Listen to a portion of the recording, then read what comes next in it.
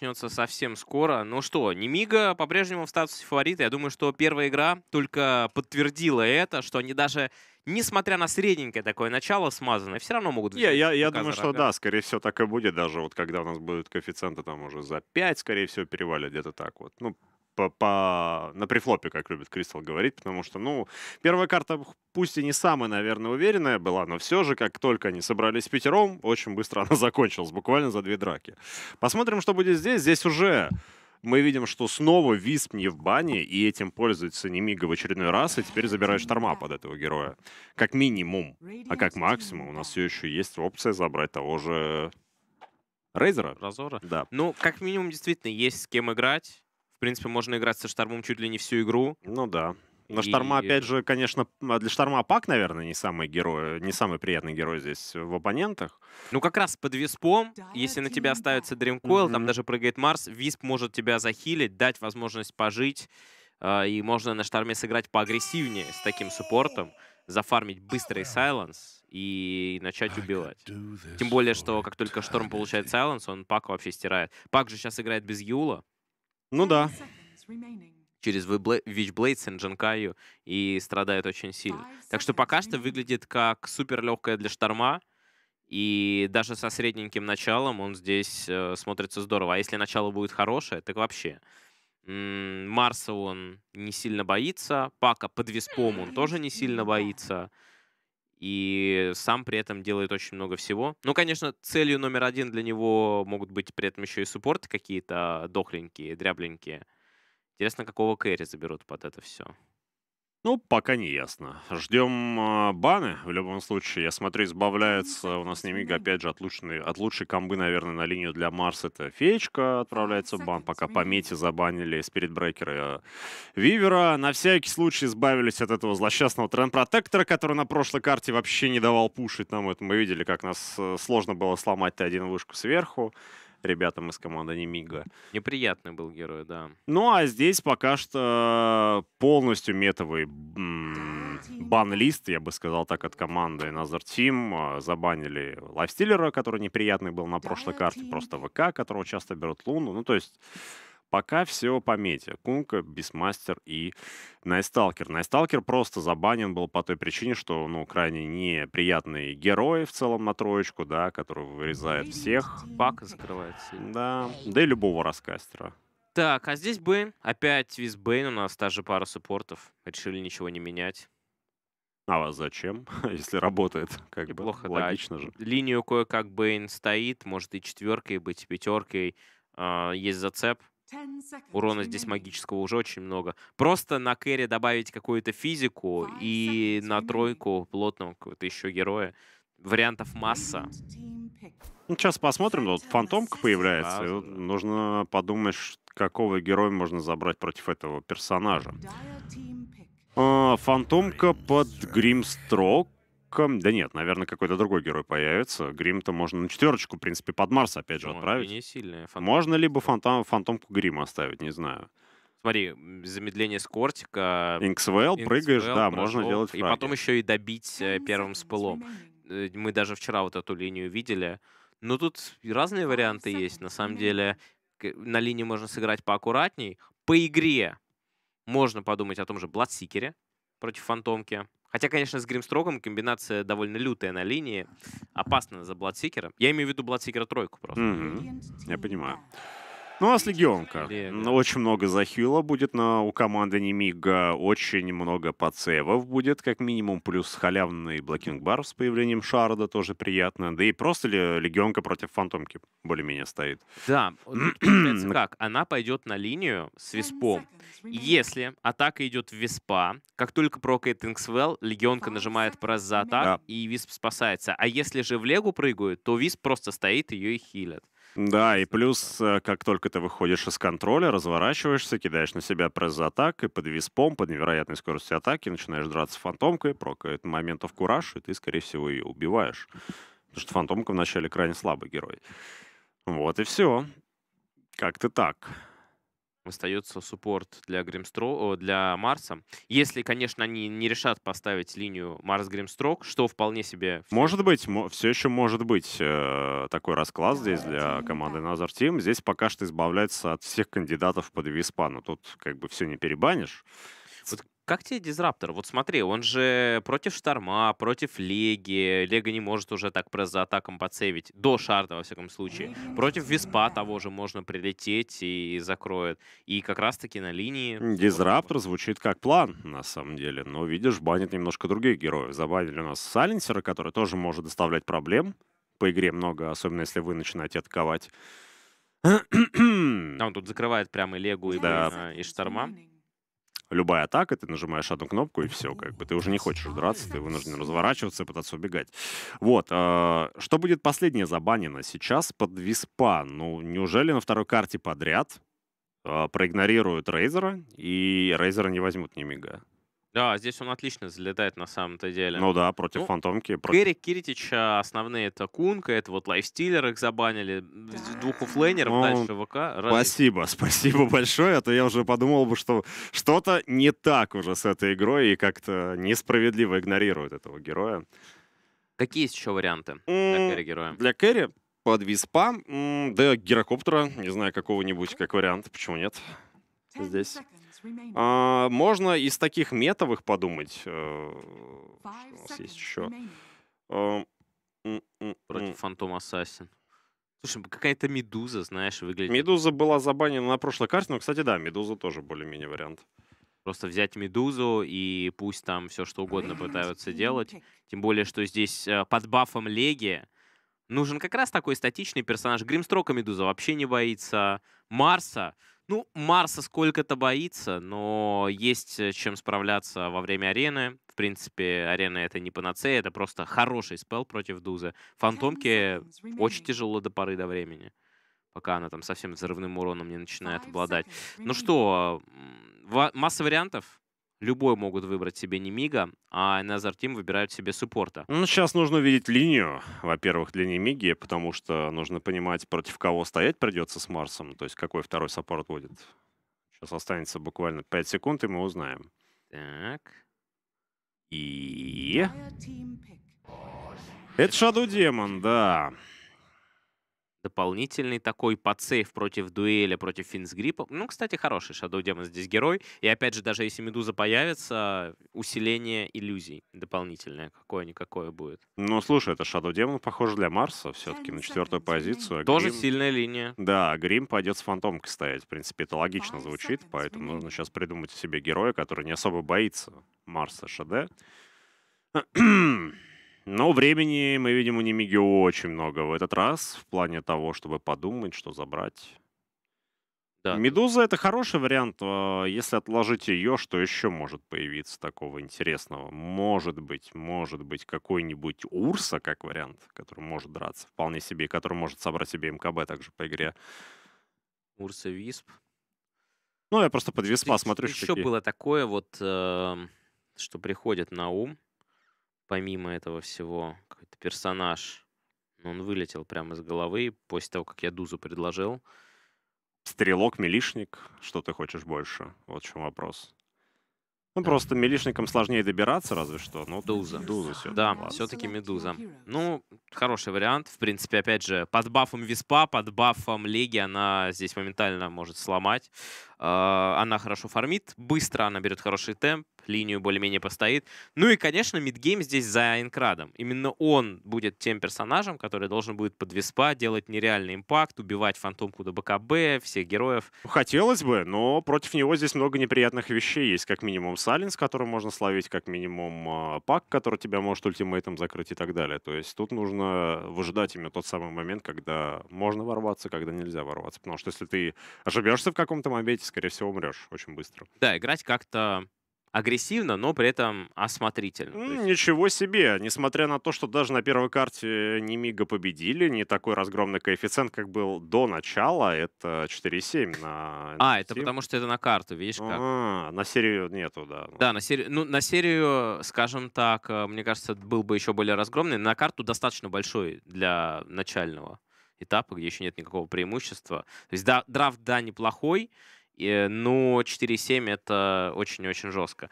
Ну, вот сейчас и посмотрим. За второй картой, я думаю, что Немига уже разогрелась. И как раз-таки вот сейчас первые минут 20 в этой карте должны пройти более-менее спокойно. Может быть, разве что Шторм будет доставлять какие-то неприятности. Ну, а дальше слово за Медузой.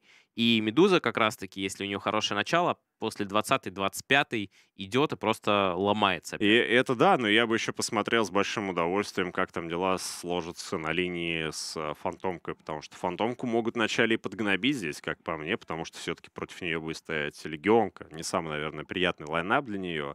И если тебе реально не дадут фарма, набрать свои арты будет сложновато. Да, да, то есть мы говорим про то, что Дуза на хорошем темпе будет опасной, даже если у Фантомки будет хороший темп, потому что она не успеет. Да. Но если Фантомки еще и собьют темп, и у Дузы будет много, а у Фантомки мало, это вообще будет невозможная игра. Ну, то есть фандомка без слотов здесь вообще ничего не сделает. Так зачем она вообще нужна без слотов здесь? Да, да, она никак до них не доживет, и только останутся какие-то теоретические шансы.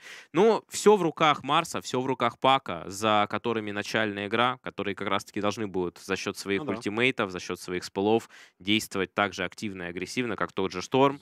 Единственное то, что не хотелось бы, конечно, вот такую пассивную карту видеть, как у нас была прошлая, потому что ну, мы там буквально 25, наверное, 27 минут не видели ничего. Да. Ну, то есть какие-то минимальные там стычки были, но у нас первая 10-минутка закончилась тем, что был счет 2-1, если не ошибаюсь. То есть, ну, это очень мало, три фрага всего лишь. Ну, это как следствие того, что Another Team не особо атаковали, а у Radiant был Акс, которому нужно ВГ Блинка, это минут там 20 он все это фармил. Лайфстиллер тоже разгоняется очень долго, то есть ему как минимум нужен армлет, ему нужны фейзы, и после этого еще что-то по-хорошему добрать. Если я правильно помню, он вот где-то в момент, когда он скади купил, начал нормально. Ну да, что-то такое уже полезное начал делать для своей команды. Это правда. Ну ладно, я смотрю, смок был уже разбит. От Немиги отправляются они вперед. Там Пак пошел вперед. Также vision, видимо, расставлять. Судя по тому, что у него там два Вардика. Но Виз покажется быстрее. Оп. Да. Ну, очень быстро сюда добежал, поставил. Все, и увидели, кстати говоря. Увидели, да. Сейчас могут э, попробовать что-нибудь придумать. Немига, наверное. Ну, как минимум, я бы на самом деле пока ничего не делал, а когда вот уже все разойдутся, аккуратненько сюда пришел и наверняка добил этот вард, потому что сейчас это сделать может быть проблематично. Там поставишь в центре, кто-нибудь поставит в ответ, э, точнее, в ответ команда соперника задынает свой вард, ну, слушай, они все-таки идут рисковать. Ну да, вот он, они поставили цент, центрюшечку и сразу же вард забрали. Окей. Ну, плюс денежки для Ванскора, получается, да? Да, да. И вот думают сейчас, думают сейчас, кто же, где же, как же они заметили. Наверное, вот они поставили сюда вард, думают, Рейденты.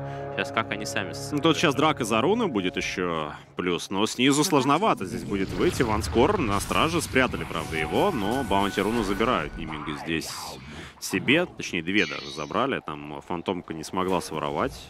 Ну и 2-2. Да. Доминик тоже две подбирает, которые слева, к нему никто не пришел. В принципе, начало равное, за исключением вот этого варда поставленного. Также поставили сентряк рейденты на блок спауна шторму. Это стандартная абсолютная вещь. А, блочить маленький спаун для того, чтобы он там не подфармливал. А, и тут везде все заблочено. Короче, игра вардинга очень много этих нюансов мелких. Попробуй ну, за всем уследить. Давайте смотреть, что по линиям. Снизу у нас легионка под виспом. А, можно спокойно тут фантомочку на первом левеле избивать. Мы видим, что уже лица нет у фантомки. Увы. И с каждым левелом все сложнее и сложнее будет и здесь стоять, потому что урона будет просто больше у ребят с команды Немига. Вряд ли сильно здесь может Грим помочь как-то в этом плане. Я, мне насмешил немного никнейм Дарк Лорда, точнее приписка. Чисто для дота. Отличная приписочка. Сейчас все... Актуалочка, я бы сказал. Да, все, все уже набирают. Уже набирают, все написывают. А, актуалочка. На Доминик там может быть нападение. Доминик хорошо ванскоро его бодиблочит здесь, но нет. Просто пробили его. Окей. Да, на Киритич тут просто будет стоять. Вот очень похожие для него матчапы. То есть тогда он играл на лайфстиллере, и, в принципе, не нужно было никуда рыпаться, спокойно стоишь. Не самый убивающий суппорт у тебя и здесь то же самое. Самое главное фармить. И стаки. Конечно, стаки, которые будут делаться под эту медузу, очень-очень важны. Стаки должен будет делать Heaven, который пока что играет с Легой.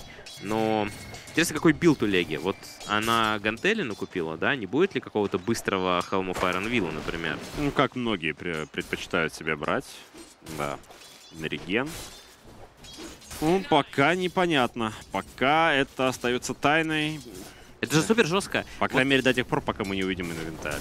Chosen One. Ну, у него там гантели были, насколько я помню. Вот это в чем смысл вообще этой темы? А, так делали, кстати говоря, те же LGD даже на NT, и за счет этого выигрывали там несколько игр. Ну, как минимум одна была точно. А, ты берешь... Ты ничего не покупаешь толком. Сейчас посмотрим здесь нападение на Шаду Демона. Да нет, не забрали его просто. В общем, ты покупаешь много артефактов, э, ты не покупаешь много артефактов, вставляешь много денег, потом на первые деньги берешь шлем, а, с этим шлемом что ты делаешь? Ты с этим шлемом вымакшиваешь пассивку, просто стоишь, тебя вдвоем не могут прогнать, ты, в принципе, никого не убиваешь. Твоя задача просто стоять на линии, получать экспу, добивать крипов. Ты стоишь, а твой суппорт может делать все, что хочет. Он может пойти постакать, он может пойти, там, я не знаю, всем чем угодно заниматься. И это очень круто. Не говоря уже о том, что, в принципе, ты можешь... Э, ну вот мы видим здесь другой билд. Немножко по-другому решил поступить. Ой, в миде Айнкрат. Айнкрату больновато. Здесь, конечно, пак поддушивает. Уже вторую, кстати, карту подряд. Мы, курьер. О, привет.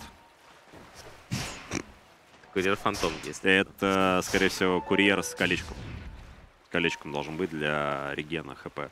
Что внутри? Колечко, ну, да. да. Ну просто надо было... Ну, опять было... же... Как ты спрятать его? Тут бы его сейчас убил, что Это вопрос контроля курьера. Кстати, его сейчас могут забрать. Его могут забрать, там виз пошел, да? Конечно. Ты бы еще его через фонтан вражеский отправил. Это вообще жесть. Траектория максимально странная. Ну да, я могу понять фантомка, это нормальная практика, когда ты отправляешь курьеров по тайную лавку свою, но потому что ты до вражеской физически не можешь дойти закупиться. Что поделать? Потом просто райт-кликом. Ну и вот ты будешь сейчас страдать без регена на линии стоять. Ой, жесть, конечно, да. А это, то есть, а, вот а, все слышали, что я озвучивал про то, что Лега может взять. Но здесь немножко обратная ситуация. Лега здесь такой билд не взяла, но у нее все равно все неплохо. Потому что у нее есть э, ее пассивка замечательная, которая она все равно отхиливается. Плюс у нее есть висп, который да, подходит Киритыч нападение. Киритыч таки прожал. Два стака яда на нем. Три стака нет. Конечно, без шансов. Ну, да. ПБ еще ванскор. Сейчас погибнет ванскор. Вот и меня. И меня в таверну, ребят. Я тоже хочу. Да. Double kill. Double kill для Shadow Демона. Неприятно, что не для Марса, но все равно очень хорошо. На верхней линии начинается сноубольчик. Так вот, The Chosen One все равно будет стоять достаточно уверенно под виспом и со своими раскачанными пассивками. Но суть в том, что Фантомка еще и взяла такой билд, вместо того, чтобы взять какой-нибудь там, знаешь, там, Blight Stone, Orb of Corrosion, э, там, Ботинок. Она взяла кольцо. И теперь это кольцо еще и умирает. То есть у ни регена, ни а атакующего потенциала. Когда обузили ботл для Айнкрада. Подобузили? Ну, Виз прилетел, просто захилил. А он с фонтана прилетел? Я, кстати, не уверен. Я не уверен, Возможно, что с фонтана. С фонтана Поэтому, наверное... Все, завалил. Простите, был неправ. Ладно, в любом Возможно, случае... Возможно, кстати, тоже последние абузы ботла мы наблюдаем. Кто его знает. По-хорошему ну, бы эту фишку, конечно, убрать. Ну, не знаю, по-моему, нормальная механика. Она просто слишком долго уже. Чисто, знаешь, пусть придумают что-нибудь новое. А абузы ботла мы там... Знаешь, не абузили долгое время. Эта фишка же появилась не с самого начала. Да, кое копье здесь Ой, залетает от Доминика. Но скорее оно больше защитное было, чтобы просто откинуть это. Тогда нормально. Я бы на самом деле, знаешь, что добавил? Э свитки встроил как способность каждому герою. Вот. Чтобы вообще Тай не покупать. С таймером, да, как вариант. Ну, есть э, мобы игры с такой механикой. Ну, я к тому, что просто ну, есть моменты, бывают, ну, это важный момент, а с другой стороны, когда некоторые профессиональные игроки забирают, забывают себе ТП покупать, и там это сулит там размер, что бараки забирают, или там еще и трон могут забрать за счет того, что нет ТПшки и так далее. Так, тут а, Пак потратил арбу, и сейчас может быть очень больно ему, Инксвелл срабатывает, но забирает его Висп. Да, опять Пак не осмотрел. Ну, это еще не конец, опять э, нападение, Грим могут забрать, да, Гримстрок, скорее всего, погибнет, не должны его здесь отпускать. Еще буквально парочку ударов. И Гримстрок отправляется в таверну. Ну, слушай, у Фантомки на линии все хорошо, в любом случае, несмотря на то, что там Курьера забрали с колечком. То есть, в целом, э, Фантомка свой фарм имеет. Ну, как и Легион команд, с другой стороны, у нее вообще топовый нетворс на данный момент вообще в игре. Самый рискованный момент — это даже не это Лего с огромным нетворсом, а Шторм с топ-2 нетворсом, который только что под Аркан Руной забрал Пака, забрали еще одного, после этого пошел профармил, все, Аркан Рун только сейчас у него заканчивается. Можно сейчас восполнить ресурсы и наводить шороху уже на карте. Причем ему даже не нужно же ждать какие-то кулдауны, у него ничего нет такого с глобальным откатом. У него все спылы откатывают очень быстро. Ну да. Так. Но в любом случае вторая карта поувереннее смотрится уже в исполнении команды Немига, нежели первая. Они уже тысячу голды лидируют, несмотря на то, что сверху был у нас double kill в пользу команды Another Team. Вот Марсу этот double kill нужен был. Шаду да, забрал double kill, да. у него 800 нетворса. Марс бы забрал, у него сейчас было бы 3000, он бы с аренами пошел месить всю карту. Ну или мог бы хотя бы пойти. А так... Сейчас Шторм, ждем, э, куда придет. На мид. Просто на мид. Ну, Полетел. Ну, такое. Шторму бы поаккуратнее быть. У него, конечно, за спиной Висп стоит. Мы понимаем, что его, скорее всего, подсейвит, если что, как-то захилит. Но там Висп без релокейта, поэтому... Не стоит, наверное, так вот наглеть раньше О, времени. Фейри Стринкет. Отличная темка для шторма выпадает. Медуза ее там выбивает из леса. Можно сейчас будет передать. Так, за Чузнан опять сломал микрофон. Да хватит уже. Voice again. Может быть, он э, ломается от того, что, знаешь, есть такая пере... штука, как перегруз микрофона, когда ты громко кричишь в него, и он просто ломается из-за этого. Нормально. Рукой задел просто. Ну, ладно, бывает. А, был у меня просто случай.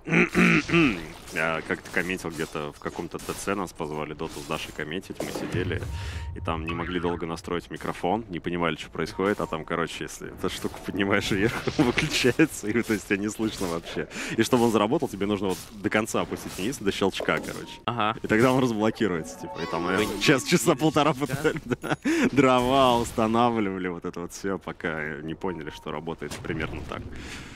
Возможно, он просто задел рукой, и я к тому, что у него выключился, вот за, защелочка выключилась. Это работает. классические ситуации в жизни, когда там не включаешь в розетку а, да, или да. что-то подобное. А это, это самая актуалочка, это, наверное, для владельцев ноутбуков. Не каждый знает, что есть такая кнопочка на ноутбуках переключить Wi-Fi.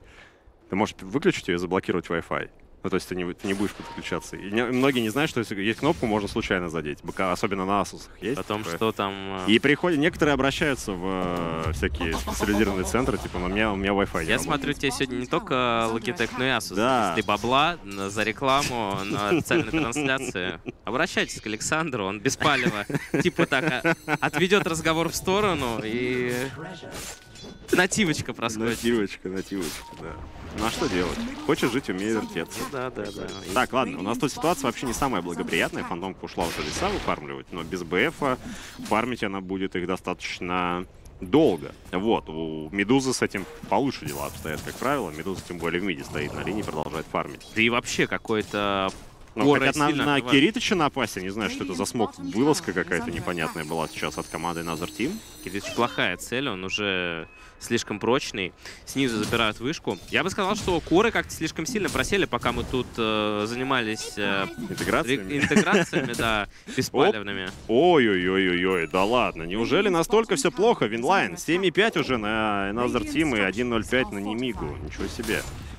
Ну, вообще, да, довольно плохо. Как мы видим здесь, э, Лега слишком сильная, Медуза сильная, Шторм сильный. Все коры Another Team просели. И что самое главное, Шторм еще может летать, продолжать развлекать.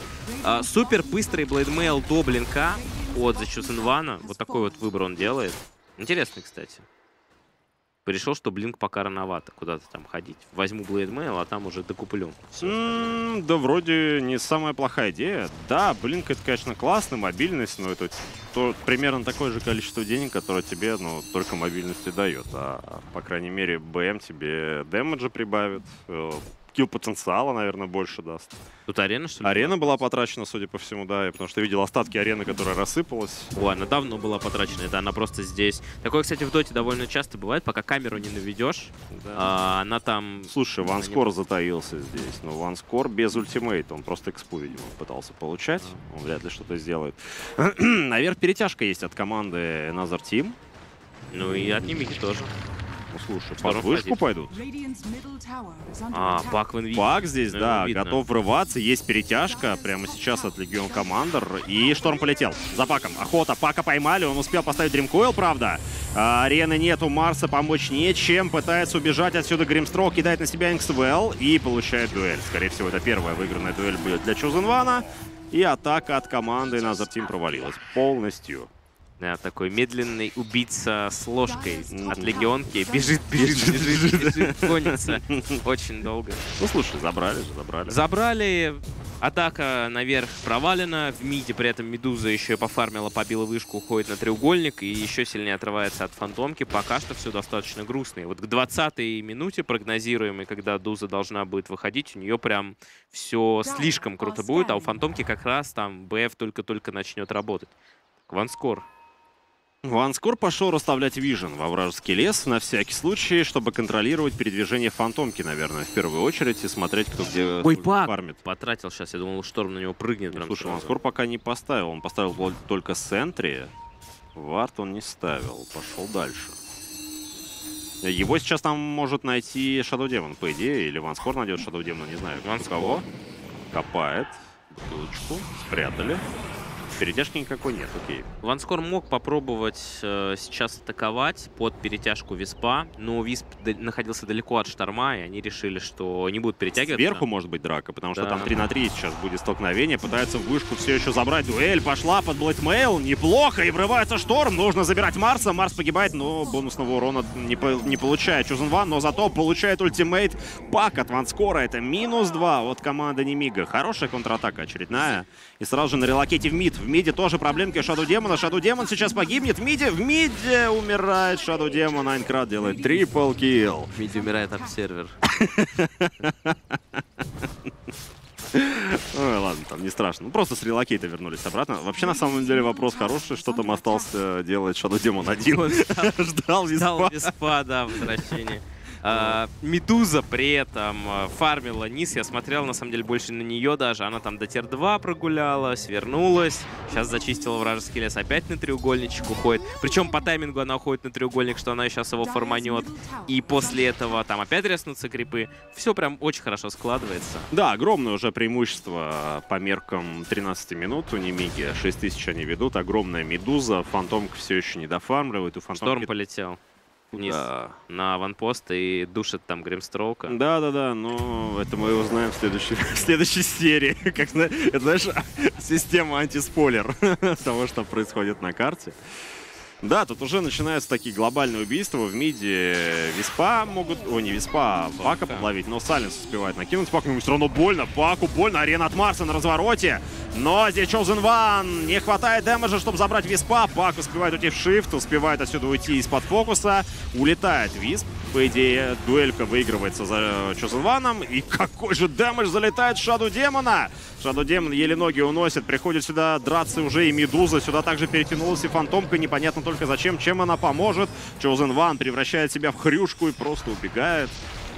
Ну и на этом все. Это мемная игра, в итоге только Марс погиб, но на самом Это еще деле не конец. преимущество, конечно, огромное. Там да. Chosen One уже затаился, готов ворваться. Но вышку потеряет в любом случае. В любом случае здесь парни из команды Назар Тим. Это уже неприятно. В миде тем более. Там МКБ я видел краем глаза у Медузы. В Квикбае вроде как планируется. Поэтому Фантомке здесь тоже будет непросто по игре. Просто ты сказал про систему антиспойлер, и мне такая cool story вспомнилась, что в Доте недавно, 21 января, была игра в Европе, где ЛТВ за 26 минут, играя на Медузе, умудрился умереть 16 раз. Ага. Я нашел эту игру а, случайно, чисто случайно, лазя по рекордам, а потом она исчезла. И я начал смотреть, что же происходит, почему она исчезла. Нашел эту игру еще раз, попытался в доте ее открыть, и мне написала дота, что данные типа отсутствуют. Видимо, игра удалилась из доты. Ой-ой-ой, Доминик. Доминику очень больно здесь. И дуэль очередная. Chosen One выигрывается. Там еще и поймали Гримстрока. Причем изначально нападение планировалось на самого Chosen One. Мы видим, что просто как-то неуверенно пошли вперед на Азартим. Не смогли его забрать. Пака где-то собрали. Медузу убивают. Медуза вместе с кем-то, видимо. Вместе с Ванскором, скорее всего, под ультимейт расстреляли Пака, иначе я не представляю, Ой, как его да. могли поймать. Да, да, что-то прям вообще разнос тотальный. 2-10, 9 тысяч перефарма. Это много. Шторм полетел. Рес. Да, здравствуйте, Фантом. Ассасин. Извольте остановиться, я сопровожу вас в таверну. Ну, наверное, да? Тут за ним выехал. Там сзади еще команда выезжает Айнкрада. Айн- Перехват. Перехват будет прямо сейчас, потому что здесь спрятали Chosen One. Айнкрад сам врывается, могут забрать Shadow Демона. Shadow Демона забирают. Пытается Виспа зафокусить. Неудачно. Копье залетает, но пресс за атак, Висп килится, арена Марса тратится, Фантомка прыгает в арену, подраться, ну и сразу же убегает из нее. Ну, что-то как-то не очень уверенно действуют здесь парни с командой Назар Тим. Виспа, наверное, заберут, на Дримкойл еще посадили Чузон Вана, Чузон Вана тоже могут забрать. Копье залетает очередное, Чузон Вана подслипал Ванскор, но нет, не спасает. Это, к сожалению, Ванскор еще могут забрать. Ванскор тоже погибает, double kill делает Фантомка, и драка внезапно складывается в пользу парней из команды Another Team. Да, неплохо, но они отыграли слишком мало. Было 10 тысяч, осталось все равно 8. 2000, да. Ну, хоть что-то, слушай, с другой стороны. Опять же, Фантомка неплохо там нафармила за эту драку, double kill. Нужно еще 2-3 так далее. таких, чтобы вернуться. Ну, а знаешь, учитывая, что это Немига, учитывая, что это СНГ Дота, все может быть, все может быть. Да уж. Так что нельзя на 100% исключать такого развития событий. Фантомчики нужно побольше набрать. 7300 маловато. Да, да, Фантомка отста- отстает и правда. Но опять же, за счет того, что БФ немножко подзадержался, и, ну, БФ это только начало пути для этого героя. Медуза все-таки с этим попроще, да, в плане фарма леса. Ты просто идешь там и сплитшотом расстреливаешь все направо и налево. Интересно, что дальше будет делать. Наверное, хочется пораньше здесь БКБ, потому что у Леги уже Mail, и если собрать Дизоль, можно просто убить. Ой, Ванскор, он один, а нет, уже не один. уже не один. Доминик погибает. Слишком сильная макро получается у Немиги с этим виспом. Слишком хорошо играют относительно соперника и уверенно забирают здесь. Тут, Так, Чузен Ван хотел ворваться, судя по всему. Там в это время Шторм врывается на Пака. Пака забирает чуть выше. Пак тоже погибает. И это еще один минус. Ну тут уже по всем фронтам, если честно, избиение от команды Немига. И Дуза снизу пушит. Да, ломается вышечка, реген оставляют на будущее. Здесь грустно смотрит Shadow Demon, как Ванскор ломает в центре, ничего не может с этим поделать, понимает, что пора уходить. И правильно, потому что Шторм уже летит сюда. Здравствуйте, до свидания. Тамблер стоя не работает, когда у Шторма уже Сайленс. Ну это да. огромный уровень, не столько маны. Там в лесу сверху тоже драка прямо сейчас, потому что есть перетяжка, могут Фантомка? поймать фантомку. Да, фантомка убегает. Ладно, ее здесь отпускают. Хорошо. Дизоль все-таки делает. Desolator. Desolator, конечно, damage классно, но мне кажется, без Black King... Хотя Black King Bar соберешь, что легче тебе станет от этого, там, два контроля. Я думаю, тут просто нужно и то, и И то, и то по-хорошему И надо, да. Вообще ей до сатаника прям тяжело, потому что пока нет сатаников, Blade Mail убивает себя, нападение на Пака, вот тут самый silence реализуется, Паку Да. очень больно, и он Пак. погибает. Как ты и говорил, паки сейчас Юла не хотят И собирать. вниз сразу же шторм полетел. А тут все, просто избиение по всем фронтам. Доминик. Тарата. Погиб. Да. Все, Доминик погибает, очень много урона от Шторма.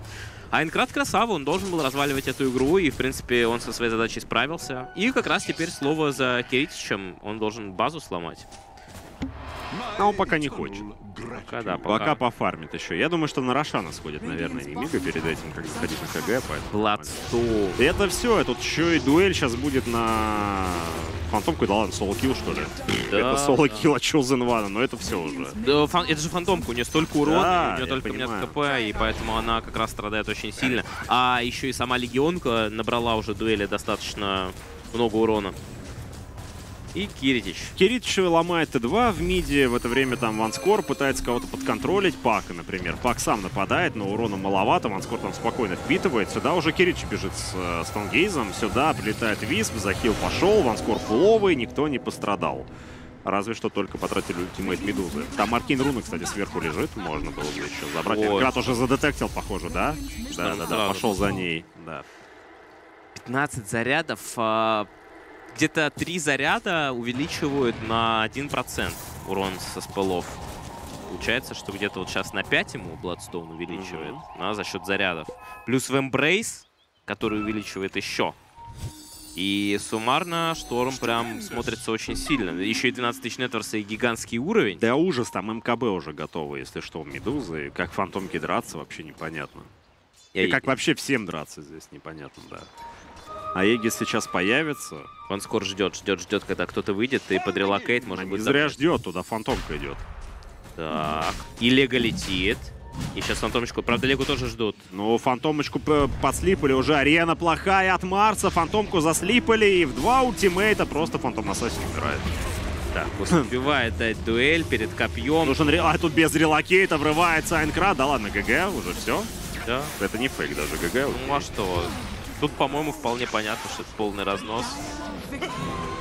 Да, как-то быстро и внезапно закончилась игра. Ну, что, с другой стороны, так по-хорошему должна была заканчиваться первая карта, откровенно говоря. Просто драфт такой был у Немиги, что они так как-то долго-долго с ним раскачивались, там пока выформили свои артефакты, вот и все. На второй карте все было просто предсказуемо максимально и без какой-либо интриги, увы.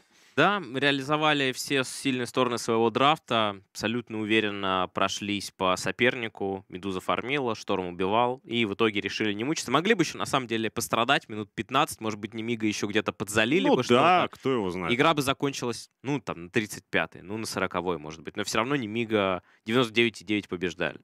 И не видели никаких уже вариантов для камбэка здесь. Логичная первая серия. У нас сегодня остается еще две. Сейчас будет достаточно большая пауза, но в 18.00 мы с Александром к вам вернемся и продолжим комментировать D2CL.